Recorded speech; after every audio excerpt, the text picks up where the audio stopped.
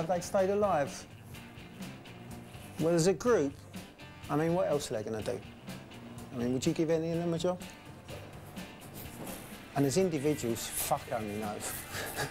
there is a huge amount of hedonism in the band, and that is something that they, they enjoy, and they've worked at it for a long time, and, they, and it has become a kind of an art for them. These days it's cool, everybody's sort of sane and, sane and uh, healthy living, everybody's got children, so it's not as bad as it used to be.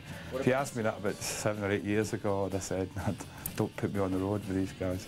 We all were in our late 20s, um, you know, and you're allowed to behave as badly as you want. I mean, you know, you of course behave as badly as you want, you know, and Primal Scream behaved probably as bad as anybody could possibly behave, you know. And this song's called Swastika Eyes.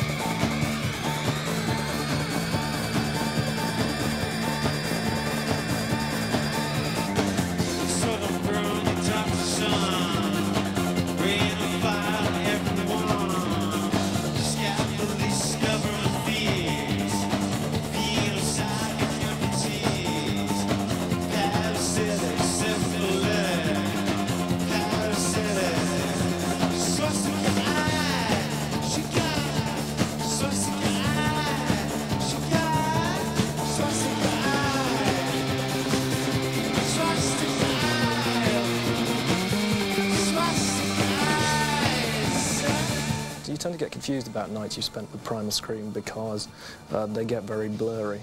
If you go out on the road with them, you're going to end up in some insane situation.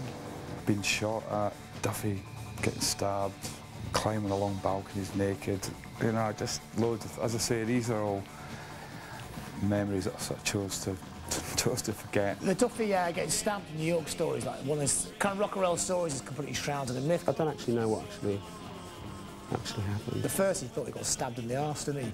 Slouched over a bar, pissed out his brains about six in the morning.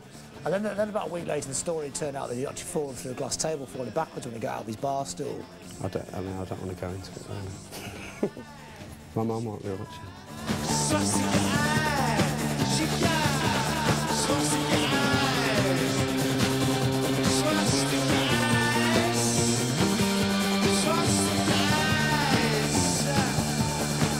In Austin in Texas, we, we went out for a meal one night and there was these three big cowboy type grufty gazers in this steak restaurant who were just being really nauseous and then they come over getting all, oh yeah, about it and Innes has split one of them's head right open with the, the expensive bottle of wine, not the cheap one that was there.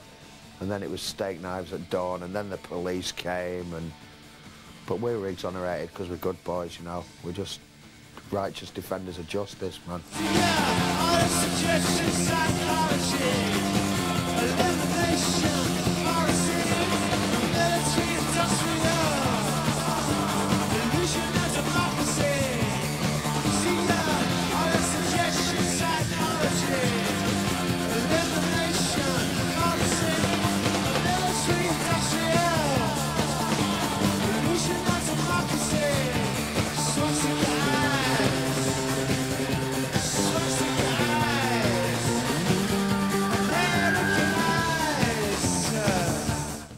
It's, it's, a, it's a hobby now rather than a, a way of life.